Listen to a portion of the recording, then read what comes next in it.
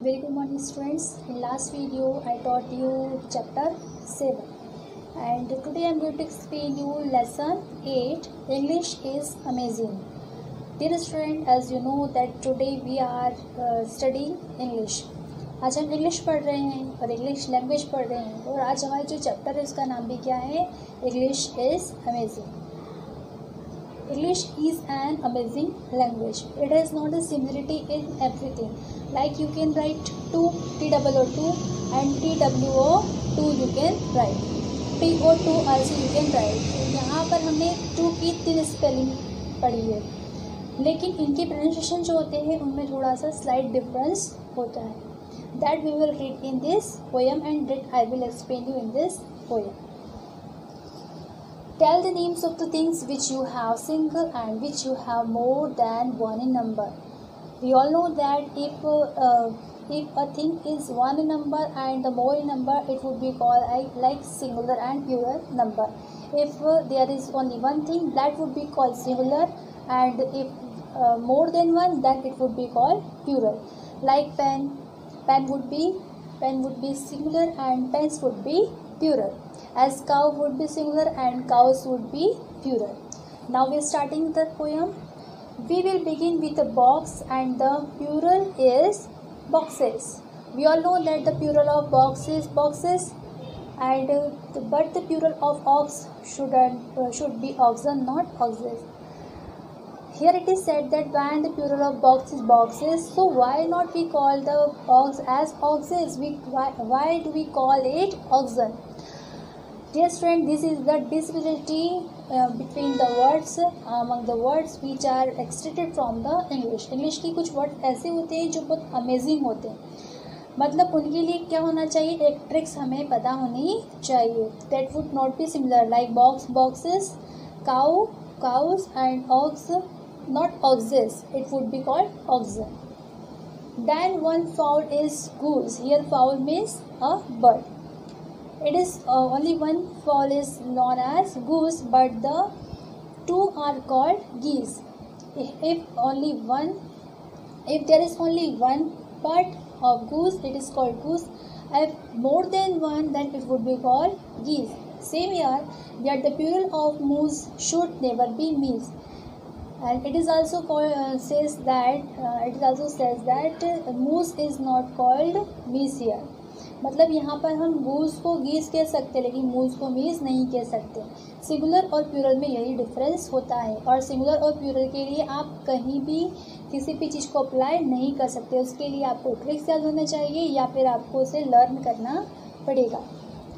You may find a lone mouse और a whole lot of mice if we have only one mouse then it would be singular mouse then it would be known as mouse. But uh, more than mouse then it would be called mice. As but the plural of house is housed not highs जैसे हम mouse को mouse singular होता है और mouse का plural होता है माइस वैसे ही हम हाउस का प्यूरल हाउसेस लिखते हैं हाइस नहीं लिख सकते. If the plural of man is always called man why shouldn't the plural of pan is called pan अब यहाँ ये कहा जा रहा है कि अगर हम मैन का प्रोनाउंसिएशन मैन सॉरी मैन का जो सिंगुलर है, वो मैन होता है और मैन का जो प्यूर होता है मैन होता है, वैसे हम पेन का पैन क्यों नहीं लिख सकते हैं? It it is also as trick the cow in the plural में बी काउस और here cows in cow is called cows in plural form and known and also known as a kine यहाँ पर हम cow को plural में cows या फिर Kine कह सकते हैं। But the plural of vow is vows but the word vow is not vows here sorry the word is vow here vows not vine and I speak of food and you show me your feet if you are speaking about the food then it would be only it is called only one food and the plural of food is feed but not like the same the but i give you a boot would uh, a pair be called beat uh, if we have only one pair of boot then it uh, the plural of that boot would not called beat जैसे हम food को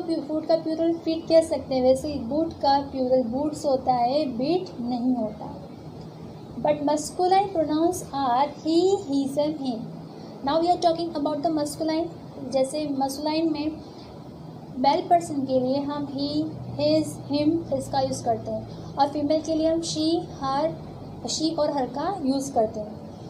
But imagine the feminine she she she's and she here is uh, here the poet is here it is said that if we are calling the masculine uh, the masculine uh, pronouns like he he meant his but not like she she meant she's.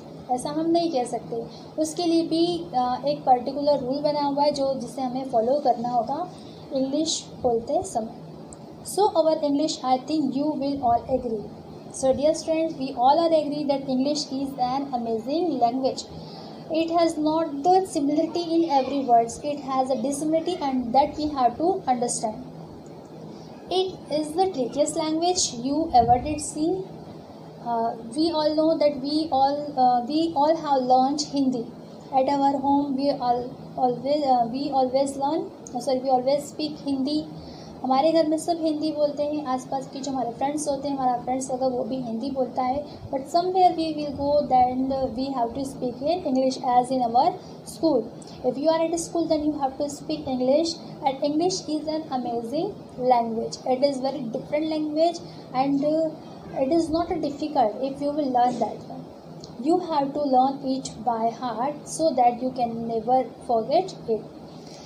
So this was the poem about english language and i think you all have enjoyed you have uh, you have to search some words which are the similar in singular but not in the plurals मतलब जिनकी जो singular हैं ऐसे word आपको find out करना है जो कि जिनका सिंगुलर है जो है सिंगुलर नंबर सेम हो but they would not be same in the plural they must be different in plural that what you have to search from your book and from your dictionary. Thank you